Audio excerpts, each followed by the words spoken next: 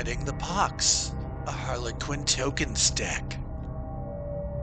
Alright folks, today we're going to be doing a new Timeline Rewind featuring the champion, Harlequin.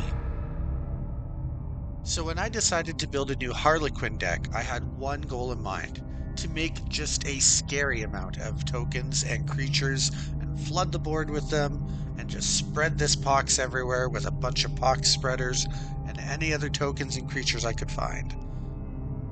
Let's start building our timeline by adding some creatures right off the hop.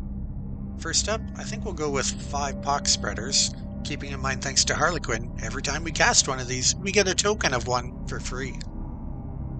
We can continue filling up the board at double speed by adding in some winged lattes, which each turn, at the beginning of a winged latte's turn, it creates a free Vaduda token that you can put adjacent to it.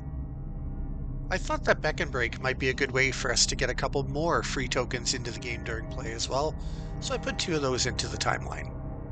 Rounding out our creatures for this deck is some Angels of Death. With all these tokens everywhere, there's bound to be a creature dying each round, which will help the Angels hit for 6 damage.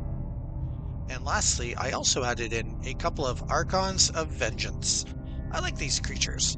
First time an ally is destroyed by an enemy, remove the exert tokens off of the Archon and place it where that ally was destroyed. So if I have a token die near my enemy champion, I could have the Archon of Vengeance jump into that spot, ready to go. Now that I've chosen all my creatures and lots of fun ways to get extra tokens onto the board, it's time to start figuring out what other fun cards would go great into a Harlequin deck. Siphon Vitality felt like a good starting point. I figure even if there's not one of my enemy's creatures near me, there's probably always going to be a token or two kicking around that I could drain for some extra health, and extra health is always a good thing. Speaking of extra health, the next two cards I'm going to talk about at the same time, because I feel like these two cards are a pairing that are just meant to be together. And of course, I'm talking about Soulfire Strike and Pestilent Consumption. Imagine being in the middle of a game and you've summoned an entire army of small little tokens. And then the opportunity arises. You get close to your enemy's champion, and that's the time to strike with Soulfire Strike.